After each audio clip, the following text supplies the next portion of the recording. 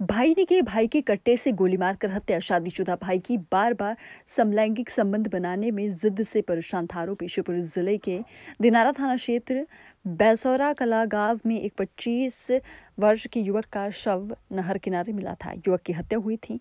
Police ने शव को कब्जे में लेकर हत्या का मामला दर्ज कर आरोपी की तलाश शुरू कर दी थी। इस मामले में दिनारा थाना पुलिस ने आरोपी को गिरफ़्तार कर लिया है। बता दें कि मृतक आरोपी के बीच समलैंगिक संबंध थे। मृतक लगातार आरोपी पर संबंध बनाने का दबाव बना रहा था। इसी से परेशान होकर आरोपी ने हत्या कर दी थी। जानकारी के मुताबिक बेसौरा कलागांव के रहने वाले ग्रामीण के तीन बेटे हैं जो उसके साथ रहते इसलिए अतिरिक्त ग्रामीण ने अपने करेरा थाना क्षेत्र के चंद्रपुरा के रहने वाले अपने साले और उसकी पत्नी की मौत के बाद उनके नाबालिग लड़के को बचपन से ही अपने साथ रख लिया था। इसके बाद से नाबालिग की अपने फूफा के एक लड़के के बीच गहरी दोस्ती हो गई थी। दोनों ने बचपन का दौर साथ में गुजारने के बाद जवानी के दौर में प्रवेश किया था। इसी दौरान फूफा के यहाँ रह रहे आरोपी युवक के साथ मृतक ने समलैंगिक संबंध बनाना शुरू कर दिए थे। यह सिलसिला करीब सात से आठ साल चलता रहा। आखिरकार आरोपी मृतक की संबंध बनाने की जिद से उब चुका था। बताया गया कि मृतक एक ही समय आरोपी के साथ दो बार समलैंगिक संबंध बनाने की जिद करता था। इसके चलते आरोपी ने अपने फूफा के लड़के की हत्या कर दी। कितना क्रम रहा सर जरा बताएँ सर।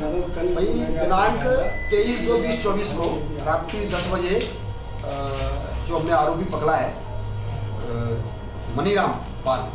उसके द्वारा बताया कि उसके साथ ये आरोप जो मृतक है, संतोष पाल, ये लगातार करीब सात आठ साल से शारीरिक रूप से उसको परेशान कर रहा था।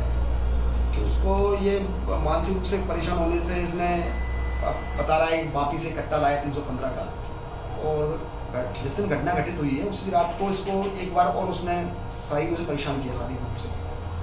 फिर ये दोबारा जब फिर उसको पास पहुँचाया तब इसने से उसको तीन सौ पंद्रह गोली कट्टे से गोली मार के उसकी हत्या कर सर मनीराम का कोई पूर्व में अपराध है?